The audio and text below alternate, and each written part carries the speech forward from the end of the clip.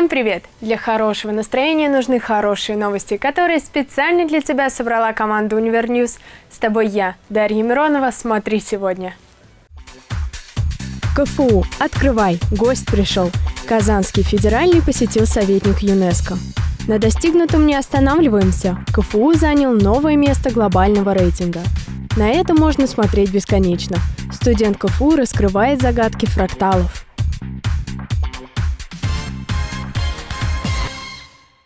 Казанский федеральный университет посетил эксперт ЮНЕСКО Мунир Бушинаки. Подробнее о визите расскажет наш корреспондент Регина Фахрудинова. 23 августа Казанский федеральный университет посетил директор Арабского регионального центра мирового наследия, советник ЮНЕСКО Мунир Бушинаки. В ходе визита прошла ознакомительная экскурсия по Казанскому университету, этнографическому музею и Институту международных отношений истории востоковедения КФУ. Здесь господину Бушинаки продемонстрировали ресурсный центр Института по развитию исламского и исламоведческого образования, а также ресурсный центр «Всемирное культурное наследие».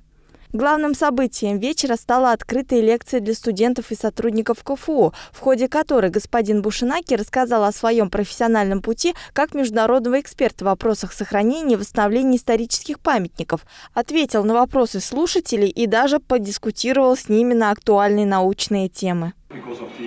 Честно говоря, первоначально в ЮНЕСКО и понятия не имел о том, что такое Казань и где это находится. И только тогда, когда Санкт-Петербург принимал заседание Комитета всемирного наследия, тысячи экспертов со всего мира узнали о городе Казань и Казанском университете, потому что столицу Республики Татарстан представляли как раз молодые ученые Казанского федерального университета.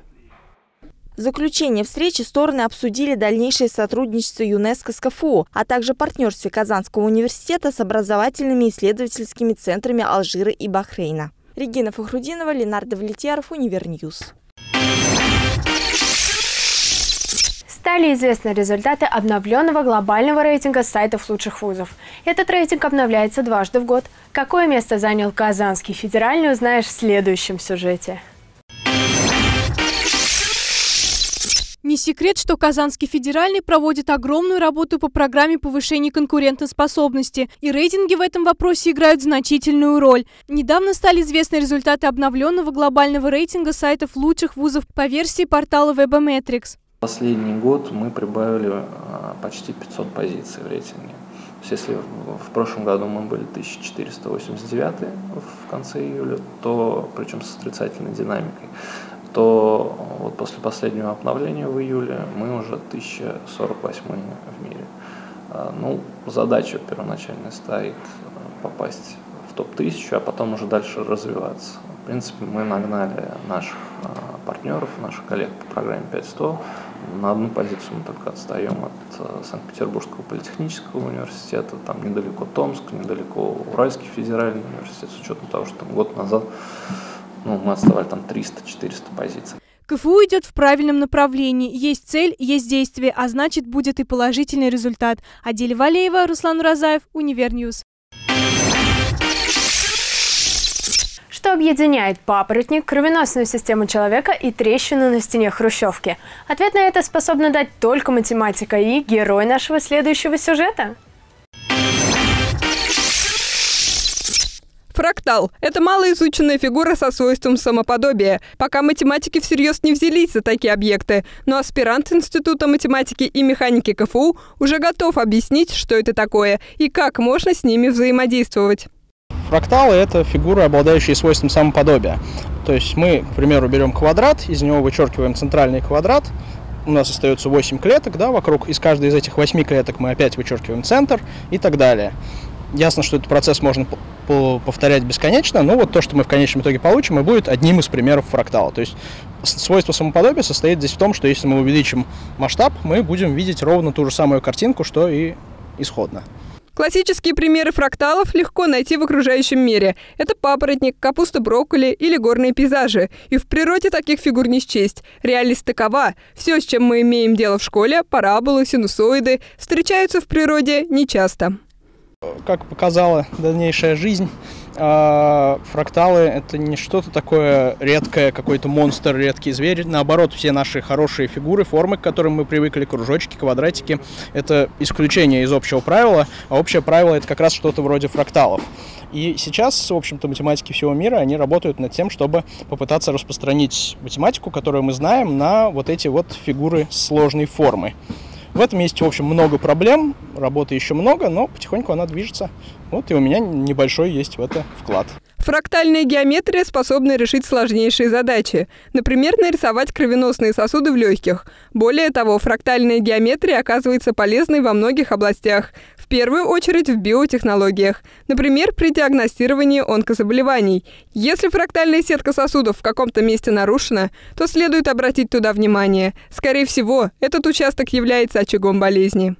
Но выяснилось, что сетка сосудов, она часто тоже имеет фрактальную структуру, поэтому если мы смотрим и видим, что где-то она нарушается, это легко сделать, то есть это, в общем, не очень сложное программное обеспечение, то мы можем с уверенностью сказать, что вот в этой области что-то пошло не так, ну, где-то там естественный порядок вещей нарушен, да, и, соответственно, скорее всего, там что-то уже можно более пристально обратить внимание и посмотреть. Но это не единственное, конечно, применение. Можно с уверенностью сказать, что жизнь каждого из нас состоит из фракталов и неспрямляемых кривых. И в этом легко убедиться, стоит лишь один раз взглянуть на мир, как на часть одного фрактала. Аделя Мухаммедшина, Роман Самарин, Univer News. Видеоблогеры, вайнеры, ютуберы, многим уже знакомы данные профессии. Но почему они популярны? Мы решили узнать мнение прохожих. Собирают всякую ерунду, которую любят большинство, наверное, вот, и в каком-то готовом виде преподносят вот, своей публике. Из того, что всем интересно мнение других людей. Юмор, развлечения, а, какие-то философские а, рассуждения о жизни. Это все интересно и, мне кажется, ну, дело вкуса каждого. Они рассказывают много разных вещей. Они делятся своим опытом. Телевизор никто не смотрит, наверное, поэтому нет, смотрят телевизор, но не так часто, как раньше. Наверное, поэтому видеоблогеры стали популярными, так как сейчас э, молодежь находится в интернете большую часть времени, и им приходится натыкаться, как и мне, впрочем, на видеоблогеров, на их видео, поэтому это стало популярным. Наверное, потому что молодежи нечем заняться. Потому что людям нравится сидеть в интернете и социализировать себя с другими людьми, которые более успешны, чем они.